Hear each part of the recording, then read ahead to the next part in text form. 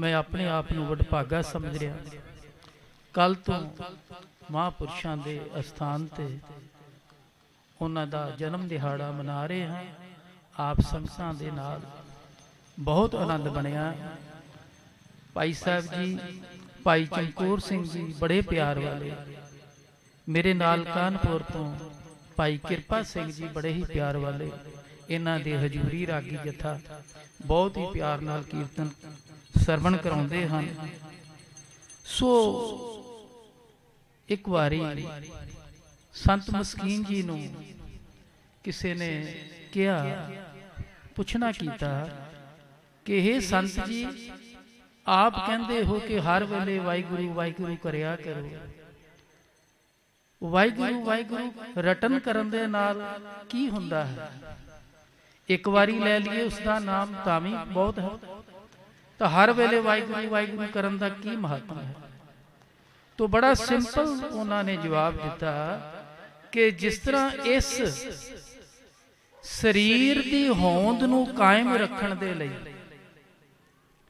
ਜਿਸ ਤਰ੍ਹਾਂ ਗੁਰੂ ਪਿਆਰੀ ਸਾਧ ਸੰਗਤ ਜੀ, ਬੜਾ ਹੀ ਅਮੁੱਲਾ ਬਚਨ ਸੰਤ ਮਸਕੀਨ ਜੀ ਦਾ, ਕਹਿੰਦੇ ਜਿਸ ਤਰ੍ਹਾਂ ਇਸ ਸਰੀਰ ਦੀ ਹੋਂਦ ਨੂੰ ਕਾਇਮ ਰੱਖਣ ਦੇ ਲਈ ਅਸੀਂ ਵਾਰ-ਵਾਰ ਸਾਹ ਲੈਂਦੇ ਹਾਂ ਉਸੇ ਤਰ੍ਹਾਂ ਸਾਡੀ ਆਤਮਾ ਨੂੰ ਜਿਉਂਦਾ ਰੱਖਣ ਦੇ ਲਈ ਸਾਨੂੰ ਹਰ ਸਾਹ ਦੇ ਨਾਲ ਵਾਹਿਗੁਰੂ ਵਾਹਿਗੁਰੂ ਜਪਣਾ ਚਾਹੀਦਾ ਹੈ।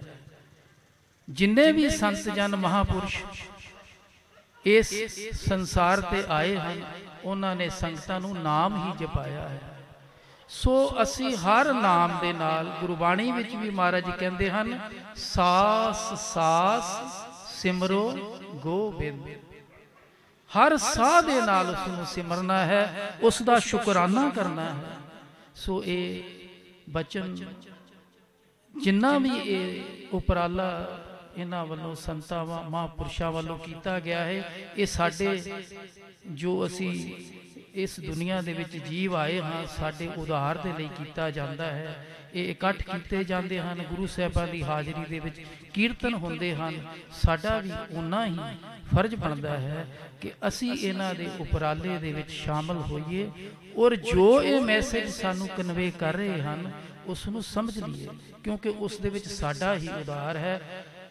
ਇੱਕ ਵੀ ਸਰੀਰ ਅਗਰ ਇਸ ਸਾਰੇ ਉਪਰਾਲੇ ਦੇ ਵਿੱਚ ਸਾਸ ਸਾਸ ਸਿਮਰੋ ਗੋਬਿੰਦ ਵਾਲੀ ਅਵਸਥਾ ਬਣਾ ਲੈਂਦਾ ਹੈ, ਤਾਂ ਇਹ ਉਪਰਾਲਾ ਸਫਲ ਹੋ ਜਾਂਦਾ ਹੈ।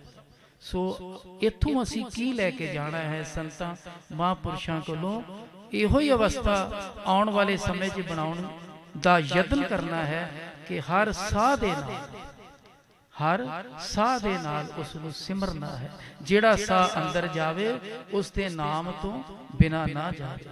ਆਓ ਜੀ ਸਾਰੇ ਰਲ ਕੇ ਇੱਕ ਸ਼ਬਦ ਦੀ ਹਾਜ਼ਰੀ ਹੈ ਜਨਮ ਮਰਨ ਦੂਹ ਮਹਿ ਨਾਹੀ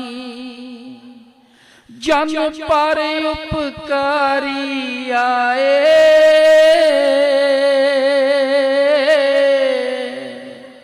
ਜੀ ਦਾਨ ਦੇ ਭਗਤੀ ਲਾਇਨ।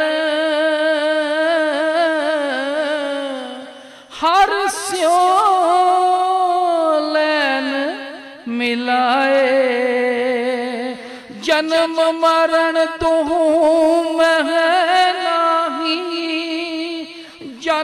ਪਰ ਉਪਕਾਰੀ ਆਏ। ਜੀ ਦਾਨ ਦੇ ਭਗਤੀ ਲਾਇਨ।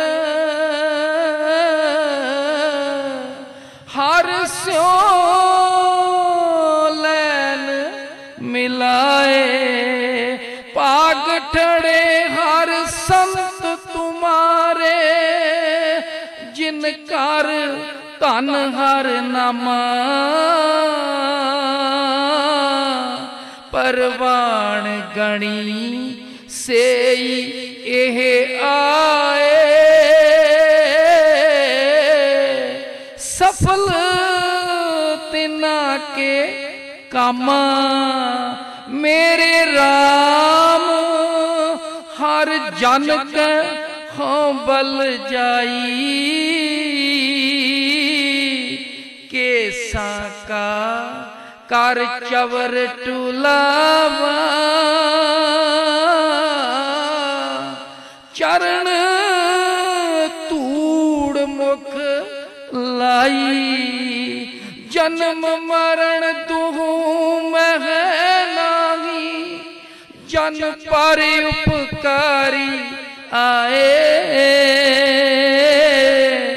ਜੀ ਦਾਨ ਦੇ ਭਗਤੀ ਲਾਇਨ। ਹਰ ਸਿਓ ਲੈਨ ਮਿਲਾਏ।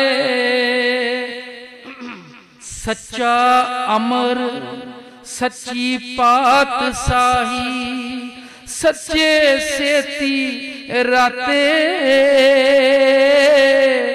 ਸੱਚਾ ਸੁਖ ਸੱਚੀ ਵਡਿਆਈ ਜਿਸ ਕੇ ਸੇ ਤਿੰਨ ਜਾਤੇ ਪੱਕਾ ਫੇਰੀ ਪਾਣੀ ਢੋਵਾ। ਪੱਕਾ ਫੇਰੀ ਪਾਣੀ ਢੋਵਾ। ਹਰ ਜਨ ਕੈ ਪੀਸਣ ਪੀਸ ਕਮਾਵਾ। ਨਾਨਕ ਕੀ ਪ੍ਰਭ ਪਾਸ ਬੇਨੰਤੀ? ਤੇਰੇ ਜਨ ਦੇਖਣ ਪਾਵਾਂ। ਜਨਮ ਮਰਨ ਦੂਹੂ ਮਹਿ ਨਾਹੀ। ਜਨ ਪਰ ਉਪਕਾਰੀ ਆਏ। ਜਨਮ ਮਰਨ ਦੂਹੂ ਮਹਿ ਨਾਹੀ।